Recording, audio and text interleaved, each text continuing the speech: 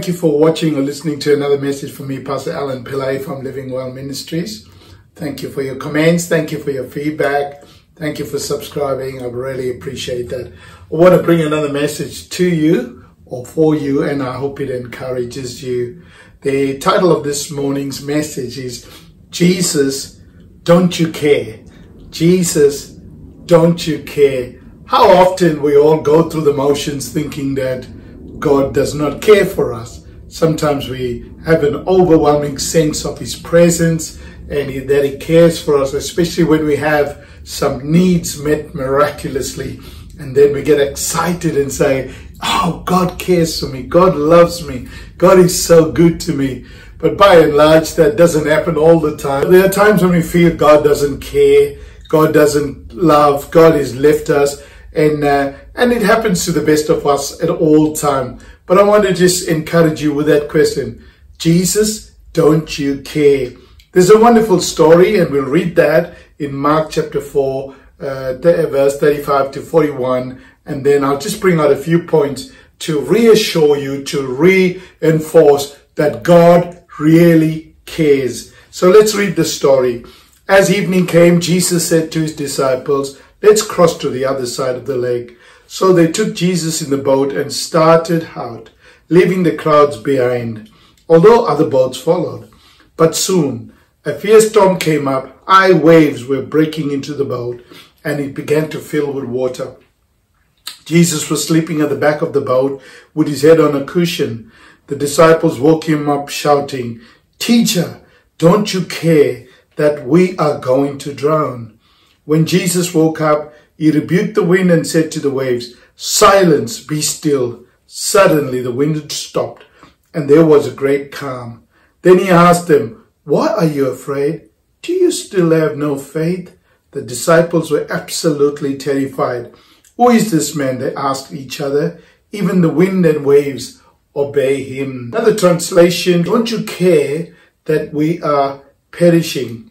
Story is simple. Jesus is going out with his disciples on the boat. As they travel the Sea of Galilee, uh, they encounter an horrendous storm, so much so that the winds have come up, the waves are big, water fills in the boat, but yet Jesus is just sleeping contently, probably due to the tiredness of him uh, just uh, helping so many people on the other side of the lake. Disciples, being seasoned sailors uh, and stroke fishermen, uh, were were um, overwhelmed by the enormous uh, storm that uh, they are, uh, they are now facing, and they get scared, and uh, so they go and shake Jesus up while he's soundly asleep and say, "Jesus, don't you care? Jesus, don't you care? We are perishing. Jesus, don't you care that we are drowning?" Jesus wakes up. He calms the storm just by speaking to it, and the wind stops and the storm uh, stops raging. That is amazing story of the power of Jesus to calm storms. And that is a lesson we can all learn that Jesus calms storms even in our lives. And today, friend, uh, maybe that's a question you have. Maybe you have a question. Jesus, don't you care that we are going to drown? And maybe perhaps you are drowning in debt. Maybe you're drowning in sorrows. Maybe you're drowning in anxiety and troubles.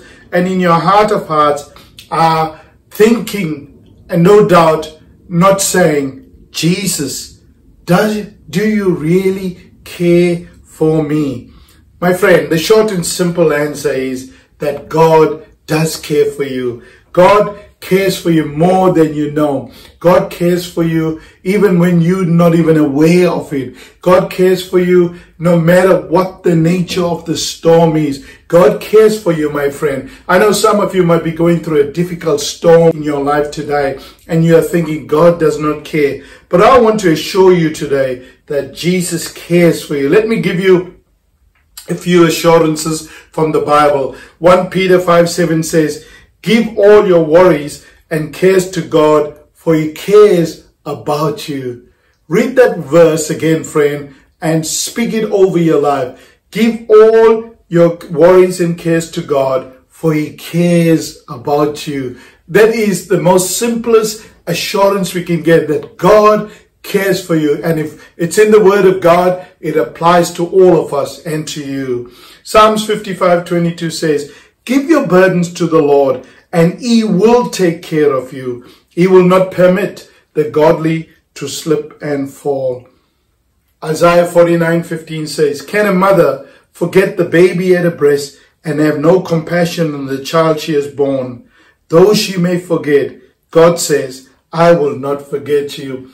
There's a comparison between God's care and God's love. What better picture of, of care than a mother feeding a child at her breast? And you know, that is something that is innate in all mothers. They take so much of care uh, for their kids. Uh, you and I are products of that care. Today, some of us are where we are because of the great care our mums took it as they would get upset if anything uh, uh, Hill took a hold of us. But that's a mother's care. And even the Bible says sometimes a mother can neglect to care for a child, but God will not forget you. And what an assurance, friend, that you are well looked after by God. God takes care for you. And my purpose today is just to reinforce that truth to you. God does care for you because some of you need to know the message. Let me give you a few points. God never runs short.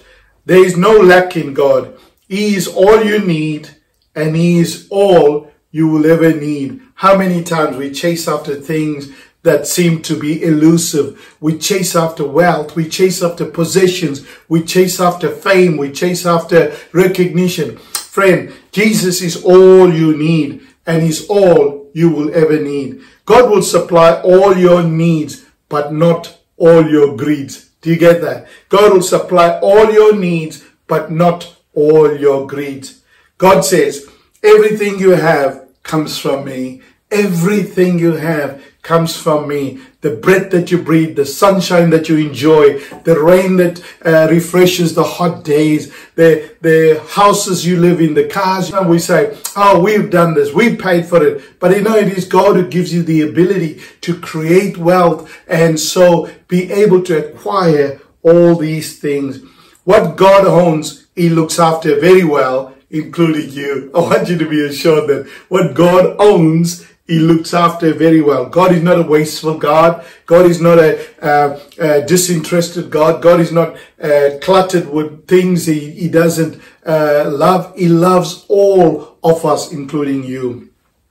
Point number two, don't despair even if you if it seems you are stuck in a rut.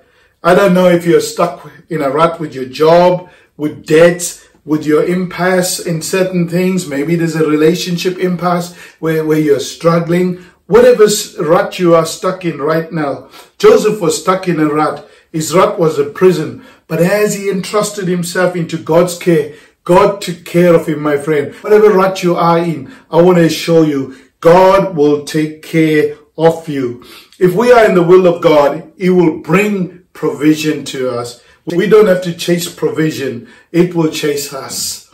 We don't have to make things happen. God will bring them to us. We can only expect provision when we are faithful to where God has placed us.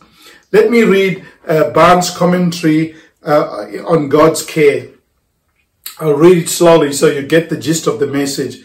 It is one of the glorious attributes of the true God that he can and will thus notice the needs of the mean as well as the mighty. And one of the richest of all consolations when we are afflicted and are despised by the world is the thought that we are not forgotten by our Heavenly Father. God who remembers the falling sparrow and who hears the young ravens when they cry, will, will he not be mindful of us? Yet the Lord thinketh of me was the consolation of David when he felt that he was poor and needy, when he felt neglected. Psalms 40, 17. Uh, Psalms 27, 10 says, When my father and my mother forsake me, then the Lord will take me up.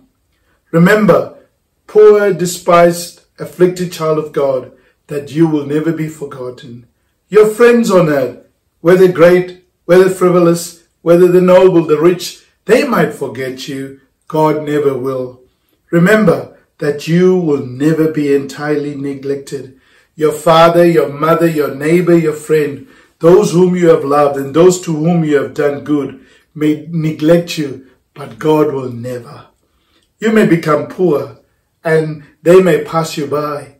You may lose your office. Your flatterers may, may no longer throng your path. Your beauty may fade and your admirers may leave you. You may grow old and be infirm and appear to be useless in the world and no one might seem to care for you. But it is not thus with the God whom you serve. When he loves, he loves always. If he regarded you with favor when you were rich, he will not forget you when you are poor. He who watched over you with the parent's care in the bloom of youth will not cast you off when you are old and grey-headed. Psalm 71:18. If we are what we should be, we shall never be without a friend as long as there is God. I richly believe the words of this commentator Barnes. It is so true, friend. People will fail you. People must stop showing care. Even our family, our children, as we grow older, they might be so busy to show the care that you desire. But one thing I will assure you today, God will always care for you. Let's read some quotes. God wants to hear about our cares, not because he needs to hear them, because we need to tell him. The only way to be really happy in such a world as this is to be ever casting all our cares upon God. You know, friend, we need to cast our cares. We don't need to store that in our own human uh, body. We need to cast it. We need to, Jesus actually invites us to cast all our cares upon him. And when we do, we will travel light in this world without any burdens. Another quote is because God knows everything about us, cares about us, helps us, and listens to us whenever we turn to him. We are not carrying our burdens alone. We therefore have no reason to be bitter. And as I conclude today, maybe you are having a difficult time recently, and maybe you need to hear this message again this morning. God loves you and He cares for you. God cares for me. God cares for His children. So here's my question again. Jesus, don't you care?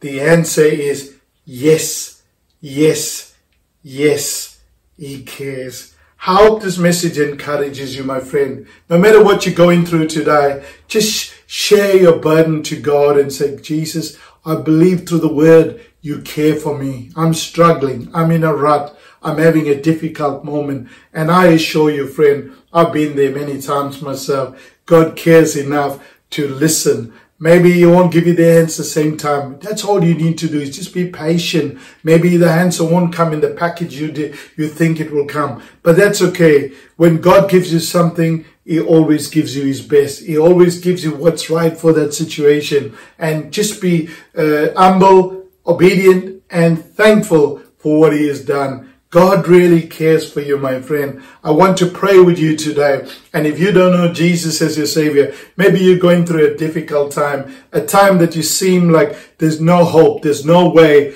But friend, I want to assure you, God cares for you. Jesus cares for you and he loves you. He wants the best for you. Let, let us pray. Father, we thank you that you care for us. The disciples thought that you didn't care for them, but you did. You showed by your power and your might that you really care for them. And Lord, you even compared us to sparrows and ravens and flowers of the field. And you said, how much more will a father in heaven who loves his children care for us? Today I pray that this word will bring hope to people, encouragement and a bit of comfort, Lord, knowing that no matter what they're going through, God cares for them. I invite them, Lord, to pray and seek you. Uh, as the word says, cast all your cares upon me, for I care for you. And Lord, if there's anyone here today who does not know Jesus as their personal Lord and Savior, they will simply say, Lord Jesus, come and live in my heart by your Spirit, and you will do likewise in Jesus' name.